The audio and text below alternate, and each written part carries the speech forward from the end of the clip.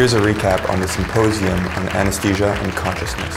After several decades of intense research and with the uh, experimental and technical prowess of 21st century neuroscience, that we as a field would be homing in on the specific neural circuits, neural processes, neural subpopulations responsible for consciousness.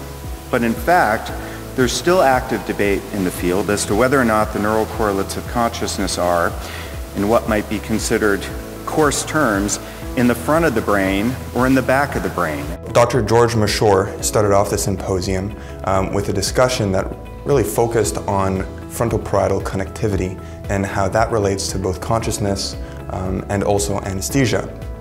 Dr. Mashour has a lot of experience in this field uh, and really has been a pioneer in it. Um, and he showcased um, some of his experiments, most recently uh, with rats, um, where he described the cholinergic contributions of the prefrontal cortex and how important they are to mediate conscious perception in these frontal parietal networks. Activation of the prefrontal cortex appears to be important for the content of consciousness. I've shown you that cholinergic activation of the prefrontal cortex, but not posterior areas, can reverse anesthesia and thus might be important in regulating the level of consciousness.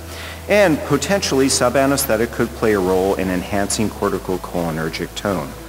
Dr. Robert Sanders followed Dr. Mashour um, with a compelling discussion about the real definition of consciousness that we should be using as anesthesiologists. What I mean by consciousness is the ability to have a subjective experience. So any form of experience, no matter how simple.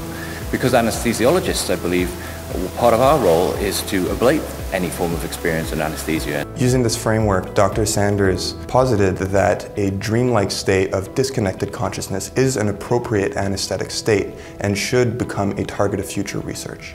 Connected consciousness can occur in RORs, sensory disconnection can be induced by our drugs. And we need to find a way in which we can optimize, I think, the balance between providing a state of sensory disconnection and um, a state of unconsciousness under anesthesia. Dr. Ken Solt and Dr. Stephanie Blain finished the symposium with two fascinating talks. First, Dr. Solt discussed how methylphenidate, also known as Ritalin, and caffeine can be used to speed up emergence from general anesthesia and Dr. Stephanie Blain presented her data that uses anesthesia to discriminate between patients who are in a minimally conscious state, unresponsive wakefulness syndrome, and other disorders of consciousness. The main take-home message from this symposium is that as anesthesiologists, we're uniquely positioned to enhance the field of study of consciousness, which ultimately is going to allow us to provide better care to our patients.